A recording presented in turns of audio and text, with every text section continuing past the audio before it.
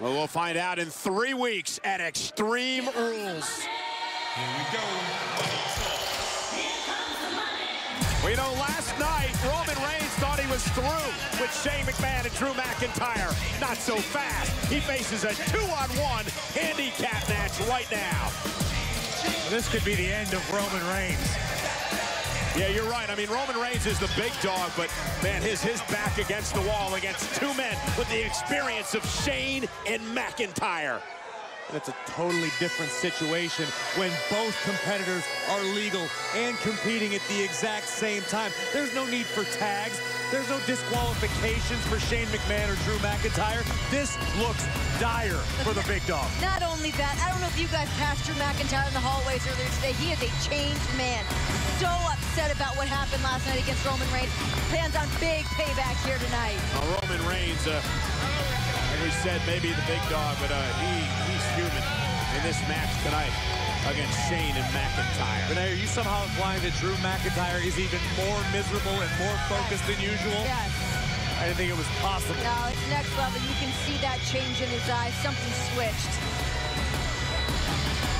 Something could be switching as far as the career of Roman Reigns. This could be it for the big dog. It's going to be a bad night. It could be the last night for Roman Reigns. We heard Drew McIntyre say he wanted to physically rearrange Roman Reigns' face. That might happen here tonight. The following is a two-on-one handicap match. Introducing first, the team of the best in the world, Shane McMahon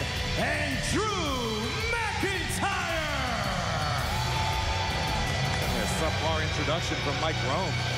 Should know better.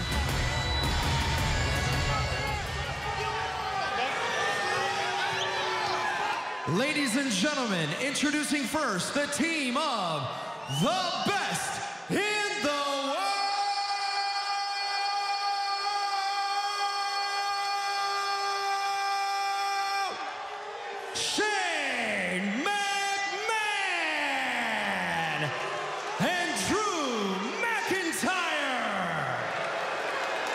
that better for you, Corey? Uh, Rome still needs work. That voice could crack glass.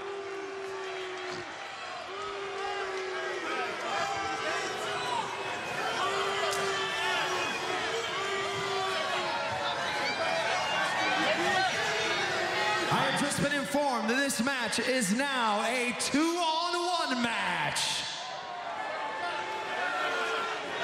Rome just figured that out. and Which means Roman night. Reigns will be facing off against both Shane McMahon and Drew McIntyre at the same time. So as you explained, Corey, there will be no tags in this match. It'll be two-on-one.